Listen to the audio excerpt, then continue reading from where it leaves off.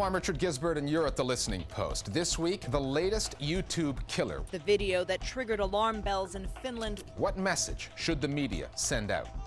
Ramadan nights and a captive Muslim audience. The battle for television viewers causes controversy. The media war in Palestine. Brutal discipline used by the Fedayeen Saddam. Old video from Iraq gets a new airing. And put your hands together for the Bee Gees. And our internet video of the week. Welcome back. It's a phenomenon of our time and our technology. The YouTube killer, a solitary young man who murders schoolmates and leaves a blurry video behind on the world's biggest video file sharing site. Aside from the terrible cost in human lives, 10 dead in the latest shooting in Finland, another eight killed there last year, the legacy for the media comes in the form of a videotaped obituary, widely used by news media around the world. But should the media use these images? And what steps are being taken to ensure that YouTube is not used as a platform to glorify criminals and the mentally disturbed?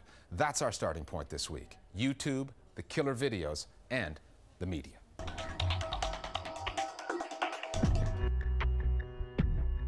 The news was shocking. A deadly school shooting rampage in Finland. Shockingly familiar. Tuesday's attack was Finland's second deadly school shooting in less than a year. Police have also been scouring the internet for clues about the gunman's identity and motives. The latest Finnish school shooter has joined the ranks of a disturbing new breed young mass murderers who rely on media, both new and traditional, to gain notoriety. The most clicked story is uh, the shooting at the Finnish college. This case was almost a carbon copy of the student who killed eight people in Jokela, Finland last year after posting video of himself on YouTube. I think, in terms of the psychological profile of this type of offender, the ability to get the message out to a vast number of people, it gives them a sense of power and control, a feeling of being able to manipulate the audience beyond their death. When Finland suffered its first school shooting, Finns reacted with understandable horror. Their concern was focused not only on the wide distribution of the shooter's material on YouTube, but on why it was that no one had reported the video that he had posted two weeks earlier. The fact that no one did is, of course, also a social psychological phenomenon in that when you see something that you know that thousands of other people do see, you're not very likely to act upon it, even if you think somebody should. But you don't take the responsibility because you feel that, well, somebody else will. This time, somebody did see the videos showing the gunman taking target practice and acted on it.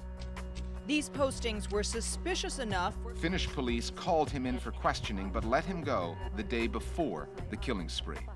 It's very difficult for the police to police the internet. In reality, they couldn't have predicted that what was expressed on the internet would be translated into the reality of a, a mass murder. The problem is that the internet is a virtual world, making criminals like the first Finnish shooter that much harder to catch. The astonishing thing was, I think, that he had found a group of like minded people on the internet who supported his ideology, who encouraged him, who even admired him, who made him feel that he was right in what he was planning to do. And after the shootings, the material created for the internet is snapped up by the mainstream news media. On YouTube and set to music, a picture of the school which raises the ethical question should television news show these videos at all? I actually think that if you ignore them in the media, there's going to be less incentive for them to do what they do. If they think that they're going to kill nine people in a schoolyard and nobody's going to pay attention to them, I think they're less likely to kill nine people in a schoolyard. With regard to some of that video footage that... In a sense, they're fueling the offender's fantasy. But on the positive side, I think they are perhaps serving a purpose in alerting people to the, the dangers of the internet. And what about YouTube and the question of its responsibility? Should YouTube police itself to a greater degree than the law currently forces the site to? We trust the YouTube community to police it themselves. And it turns out that it's a far more effective way of having millions and millions of people around the world doing it than a handful of people at one private company. Just waiting for users to report it, I don't think is acceptable. I mean, think about it for a minute. If you're interested in violent uh, videos and you go looking for them on a website, you're hardly then going to report it to the company and ask for it to be removed. The whole philosophy behind that idea, I think, is flawed. Having recently reached an agreement in the UK to remove any images that glorify knives or guns, should the site apply that policy worldwide? The difference is that in the UK it's unacceptable, but in another culture it's not. So YouTube is also evolving in terms of in different countries around Europe and the Middle East, what is acceptable and what isn't. You also got to remember YouTube is three years old, and you know it's it's evolving, it's learning, and it's becoming increasingly more kind of locally, culturally re relevant. And it's not just YouTube. It took down the shooter's videos as soon as the killings occurred, but there are many other sites where they are still available and still watched. LiveLeak.com is one of them. The people that come to our site, they want to have a choice. They want it to be their choice whether they watch something or not. They don't want someone telling them, oh no, this is far too offensive or far too horrific for you to watch. Because it always begs that question, well, why is the censor still okay? And I accept it is literally impossible uh, for these images to be screened before they're put up there. Or it's impossible to do that without changing fundamentally the whole nature of the user experience within it. In the end, it's a question of what people want. How do you become a YouTube gorilla? One of the things users love about the internet is that it's the media equivalent of the Wild West, largely unfettered and unrestrained. But as this new medium becomes the message for the violent and the disturbed, we can expect more and more voices advocating less freedom and more control. But there's always going to be an element of which is bad, and uh, as a society, we have to look at whether we kind of uh, tackle the root causes of that or whether we tackle the reflection of it in the mirror. Some of us don't want nannying. We don't want people to tell us what to think, what to watch, what to say, what to do. And when media is uncensored, it's, it's that personal choice. You've got no one to blame if it's upsetting you because it was your choice to actually seek it out, click on it, and then view it. Here's how our Global Village voices see the school shooting story. It seems to me that uh, policing YouTube uh, wouldn't really take away the, uh, the, the, motivations for those people uh, who did those shootings. They were obviously looking for some kind of publicity. Uh, if it wasn't YouTube, it'd be some other form. I love YouTube because it's all about freedom of expression. The video was actually flagged by the community and the police were contacted. He was questioned 24 hours in advance. So if the police had done their job right, YouTube would have directly aided in the rehabilitation of this guy and saved the lives of Finnish school students. These people will find a way to get their message across, and I doubt that the blame should be on the media or the video sharing sites.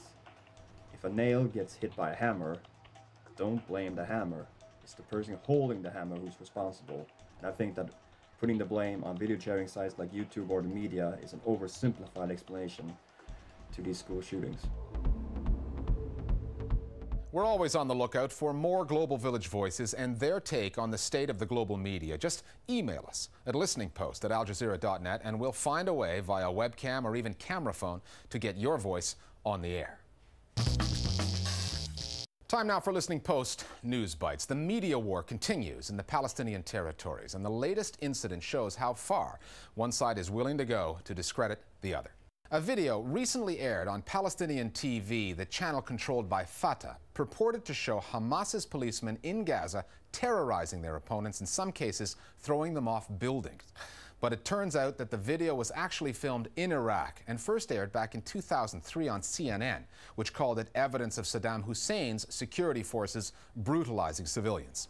Al Aqsa TV, which is controlled by Hamas, put what it called the real story on its air, saying it wanted to expose the lie to Palestinian and Arab audiences. The police in Gaza have threatened to sue Palestinian TV over the incident, although they say they don't really expect to get justice through the courts. An Egyptian court has upheld a guilty verdict against a newspaper editor who wrote stories suggesting that President Hosni Mubarak's health was failing. Ibrahim Issa, editor of the daily Al Dastur, was given a reduced sentence of two months in jail. He was originally convicted in March and given six months on charges of reporting and publishing false information about the health of the 80 year old president. Many in the Egyptian press and the blogosphere ran with the rumors about the president's health after he had stayed out of the public eye for a while. His wife eventually quashed the stories by telling the nation on TV that her husband was okay.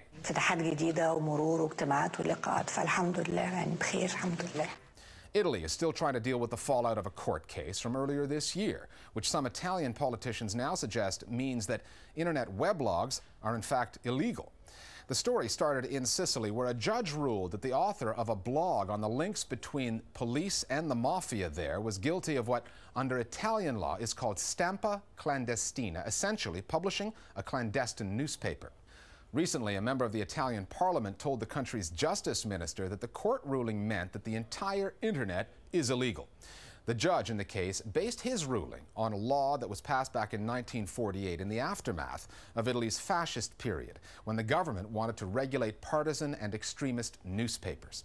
People advocating freedom on the internet are now arguing that the Italian government should change the law to eliminate any confusion over the legality of the net there. When the Wall Street bank and insurance collapses put economic issues at the forefront of the U.S. presidential election campaign, Republican candidate John McCain famously and symbolically suspended his campaign in order to, as he put it, focus on the crisis. I should be doing whatever little I can to help this process. The media had their doubts about McCain's real motivations. Many suspected they were political, not economic. But the tiny Keene Sentinel, a newspaper in the U.S. state of New Hampshire, may have summed up the story best with an editorial. It read, We have decided to suspend our editorial activities today so we can adequately ponder the implications of the economic bailout program.